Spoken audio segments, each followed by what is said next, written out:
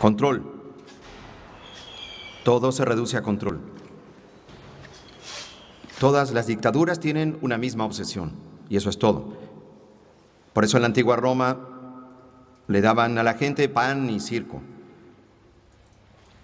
Distraían a la gente con el entretenimiento.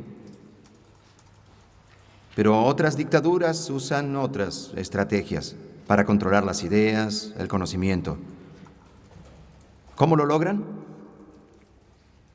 Bajan el nivel de educación, limitan la cultura, censuran la información, censuran cualquier medio de expresión individual. Y es importante recordar que esto es un patrón que se repite a lo largo de la historia. Muy bien. Nos vemos la semana próxima. Su proyecto político se resume en una máxima. Cuanto peor, mejor para todos.